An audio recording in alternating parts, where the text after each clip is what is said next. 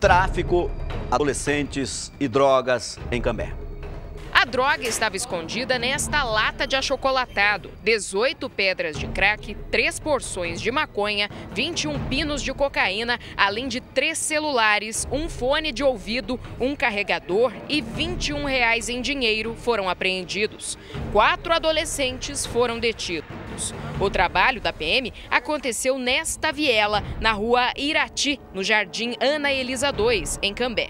A PM acredita que os garotos estivessem traficando aqui neste local há aproximadamente 10 dias. O flagra só não aconteceu antes porque, quando os policiais chegavam com agilidade, os meninos conseguiam pular os muros das casas e fugir. Mas hoje o circo foi feito. Uma rua sem saída e também possui uma viela, onde é difícil o acesso ali e conseguir pegar os mesmos. Só que hoje fizemos ali uma entrada mais rápida, uma incursão pouco é, com uma maior rapidez e conseguimos pegá-los ali é, de pronto. Um menor que estava é, fazendo a venda da droga já dispensou duas porções ao chão, que localizamos e detivemos os mesmos e começamos as buscas ali em meio ao terreno, entulhos próximos, que é onde eles costumam guardar essa droga.